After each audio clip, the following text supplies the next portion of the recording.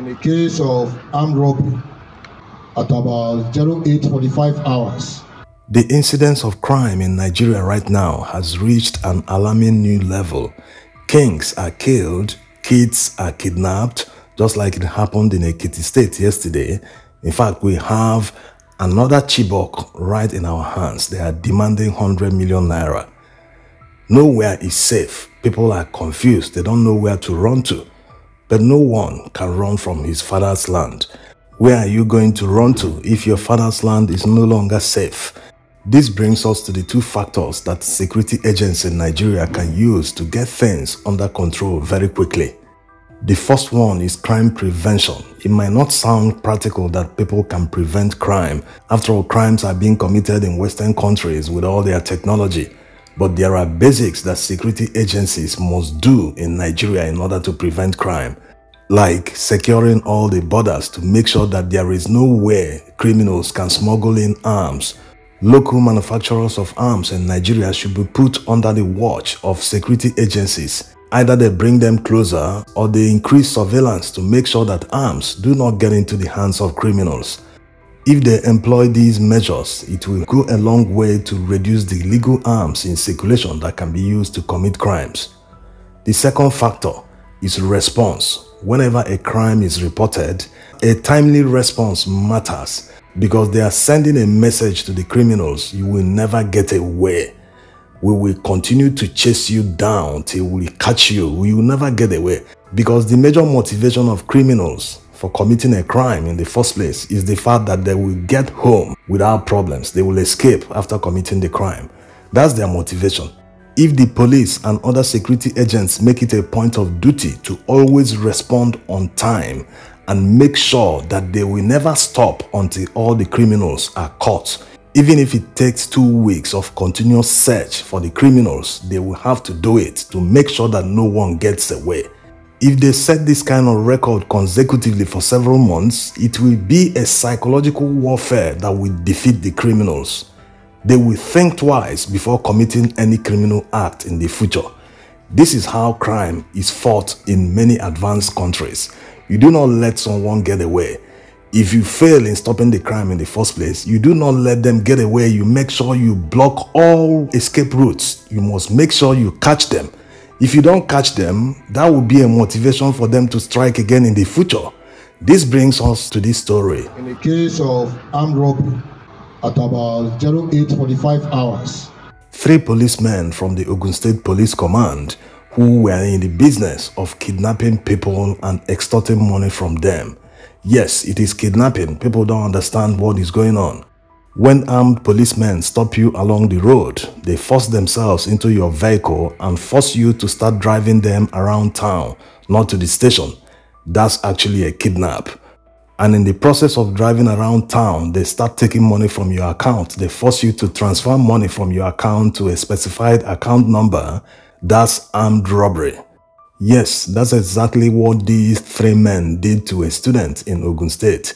They are now dismissed from the police. They are awaiting trial. It happens everywhere before we hear the full account from the police. This also happened recently in Abuja where the police kidnapped a man after stopping him along the way. In the process of driving around town, they took him around to the FCT. They ended up robbing him of nearly 40 million naira. Some of them have been caught, some of the money have been recovered. This is the situation we find ourselves in the way they operated was they're like you know kidnappers you know.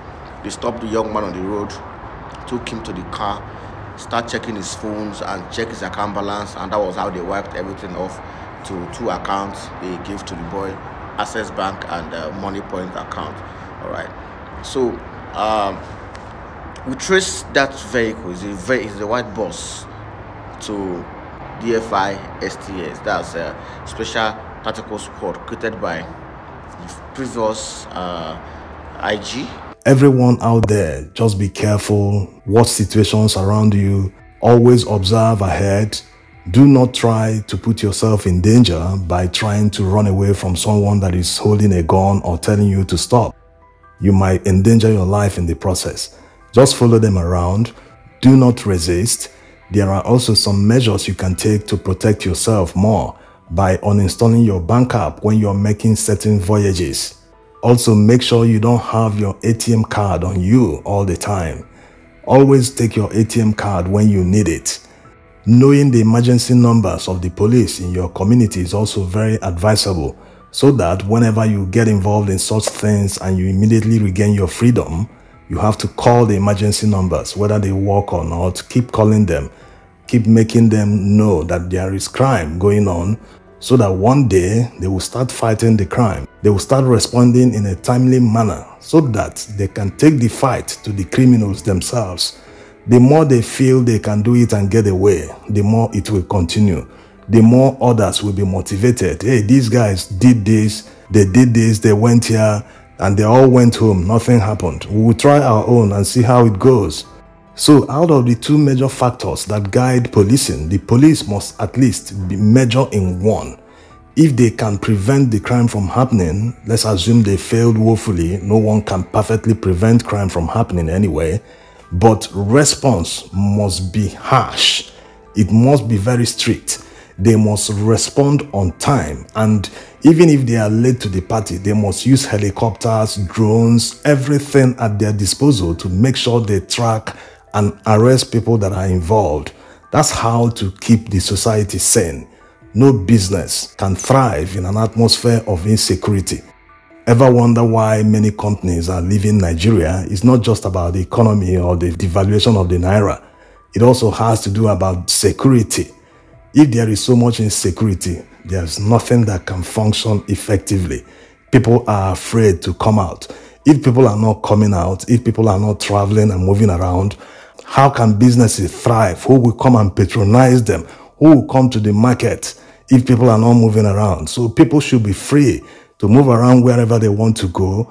It will promote tourism if there is serious security around the whole place. Now, let's take a listen in the case of armed robbery on 12th January 2024 at about 0845 hours one Kashimawo Emmanuel male of Taswell Ijebu-Ode reported at the station that while he was driving in his Toyota Venza car with registration number LSD 813EX brown in color, that he came across a gang of four armed men, and one of them was putting on a police round neck camouflage, while three others were muffed. They demanded for his phone, which he calmly declined. In the process, one of them fired a shot into the air, and that was when he complied. He entered into his car and took him away towards Shagamu Expressway. On getting to Ososa, they made a U-turn to Ijebu-Ode, where a sum of 312,000 naira was forcefully transferred from his account to an OP account number 909-782-9766. Upon the receipt of this report, The DPO quickly made a call to the OP account number where it was discovered that OP account belongs to a POS operator in Ijebu-Ode. The DPO then gave instruction that on no account should the POS operator give out the money transferred to that account to anyone who comes for it. More the operator should tactically delay anyone who comes for the money pending his arrival.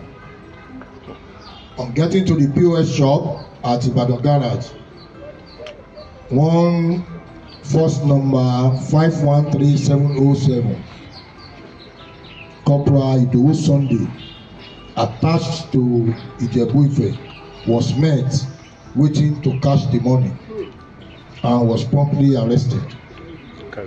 While taking him to the station, he cited his accomplices, namely AP number 341113, Inspector Taiwo Kolawole, and AP number 309292, Inspector John Ogbe, both attached to Ijebufe division, and one civilian, Adesina Matthew, who happened to be the driver, was also arrested. Exhibits recovered from them include type 06 rifle, one AK-47 rifle, and one Toyota Camry. In the course of investigation, two other victims who had earlier or been attacked came forward and identified them to have earlier robbed them of their belongings in the like manner. The three policemen have been tried in the room and dismissed. They will be charged to court soonest.